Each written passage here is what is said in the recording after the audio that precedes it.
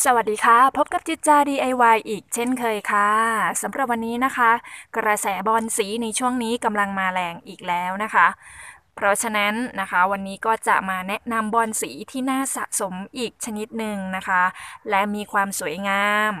ต่างก็มีนักสะสม หรือคนที่รักที่ชอบบอลสีนำมาเลี้ยงมาปลูกกันเยอะเลยนะคะซึ่งต้นที่เราเห็นกันอยู่นี้ ก็มีชื่อว่าบอลสีม่วงมงคลค่ะ ค่ะเราก็มาดูลักษณะของใบ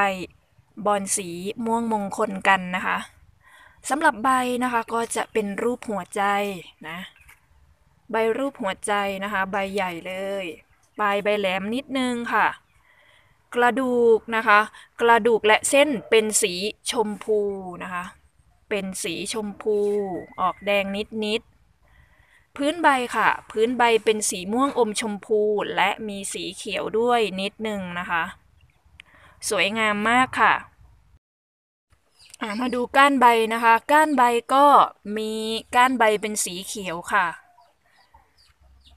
เมื่อใบของเขาใหญ่นะคะ ก้านใบของเขาก็จะใหญ่นะคะ ใหญ่และแข็งแรงเลยใค รที่ยังไม่มีบอลสีม่วงมงคลนะคะ ก็แนะนำเลยนะคะ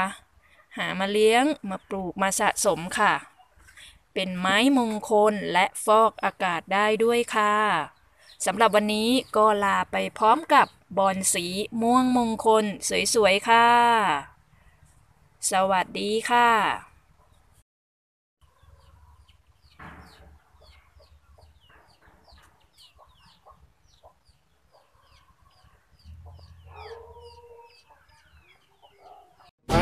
need